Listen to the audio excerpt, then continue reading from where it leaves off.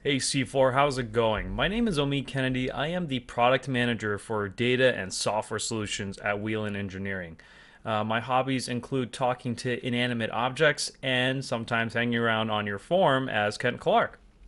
So last week I made a post where I asked you guys, for those of you that likes to mix and match manufacturers in your builds, what products do you go with that aren't Whelen and why? And there was a great turnout to that post over 200 of you guys actually responded, which was fantastic.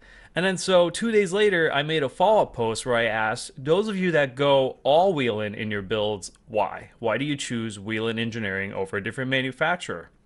And again, there was a great turnout to that post as well. And I want to personally thank you guys for taking the time to respond to that. It was really helpful to us.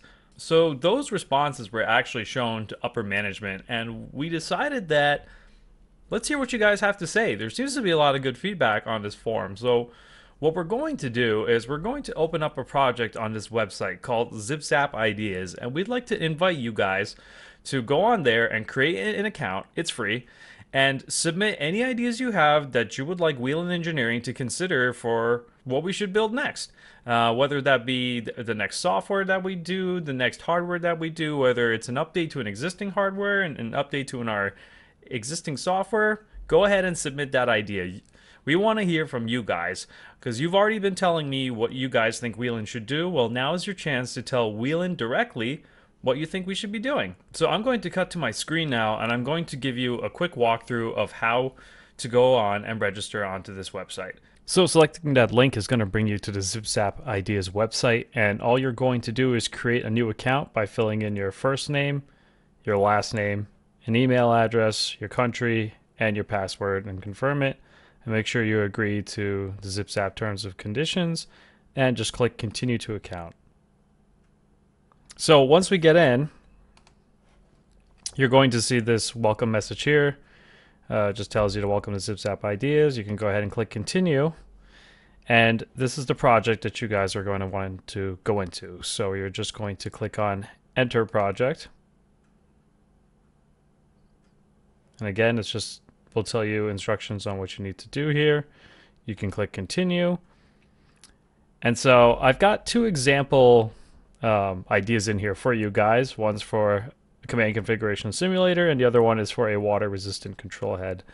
Uh, so if you click this image here, you can just see I put a stock photo of a WeCan X21 and slide over water background to give an image. You don't need to put uh, any images in if you do not want to, but you're certainly more than welcome to. Uh, so if any of these ideas, by the way, are ones that you actually wanted to submit, please go ahead and submit them. But the way you submit an idea is you click on Zip New Idea, give a description of what it is that your idea is, give it a headline, a short, simple headline. So WeCan Tracer, for example, if you would like, you can add an image. Otherwise, you would just click zip it, and that'll add the idea to the project. You guys can enter as many ideas as you want. We're going to keep this up for, we're thinking about eight to nine days. Uh, right now it's got nine days left on it, depending on when this goes up. It might be on eight. Um, but feel free to come in here, submit as many ideas as you'd like, and then uh, we'll see how it goes. So thank you very much for all of you guys that decide to do this. We appreciate your feedback and looking forward to seeing what you guys come up with.